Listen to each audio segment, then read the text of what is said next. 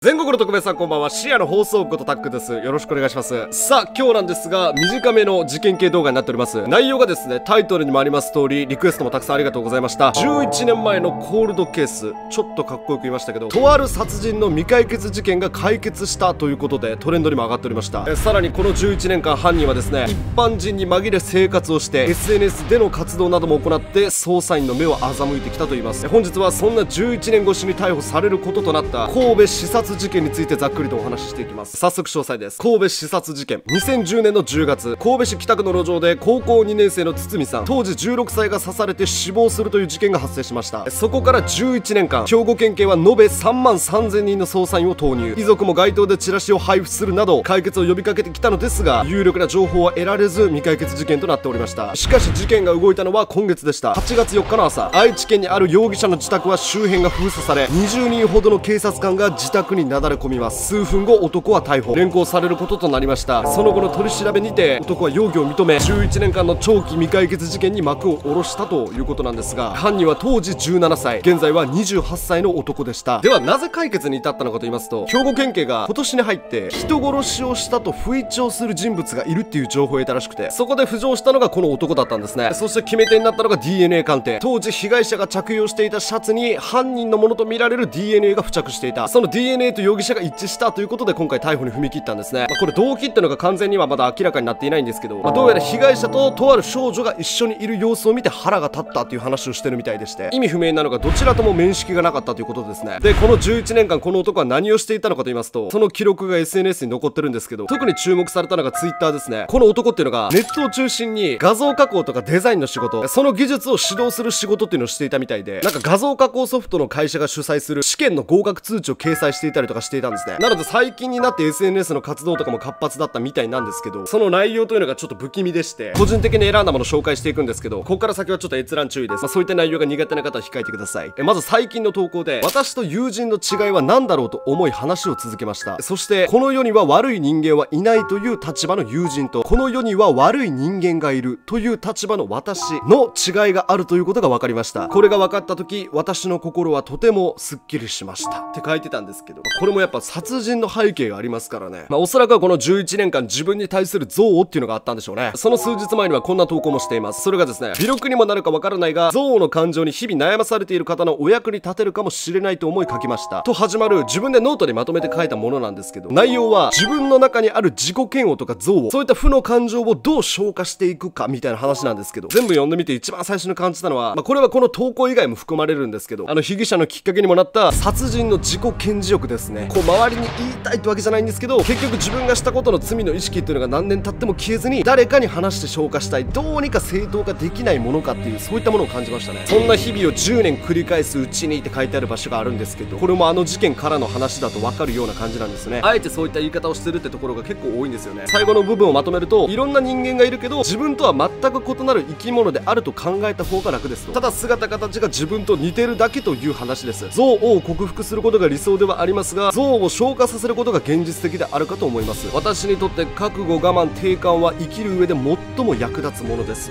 と書いてあります、まあ、この内容をどう感じたかっていうのは皆さんにお任せしたいんですけどこれもね調べるとすぐ出てくるんで、まあ、全文が気になるなって方は読んでみてください。はいというわけで今日は以上なんですけど、まあ、僕はね、まどんなこともそうなんですけど、まそもそも償いってものをしていない人間がその先に行けるとは思わないんですよね、まこんな風に自分の中でごまかすっていうことはできるんでしょうけど、まそれって償われる側も同じなんじゃないかなと思いますよね、ま被害者とそのご遺族はこの何倍も11年間苦しんできたわけでしょうし、まおそらく逮捕されてようやく自分と向き合うのかなってこう思いましたね。わからんけどね。この事件と犯人に対する皆さんの意見もお聞かせください。はいというわけで今日は以上です。最後までご視聴ありがとうございました。おやすみなさい。